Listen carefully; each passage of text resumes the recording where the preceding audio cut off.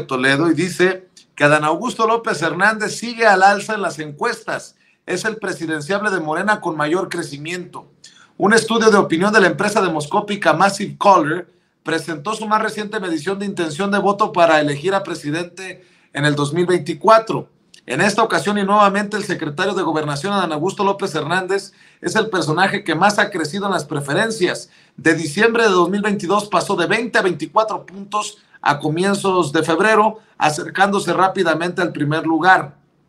A la pregunta realizada a los encuestados sobre quién le gustaría que fuera el candidato de Morena, Adán Augusto se encuentra en la posición número 3. No obstante, el secretario de Gobernación es el candidato con mayor crecimiento en comparación con los demás.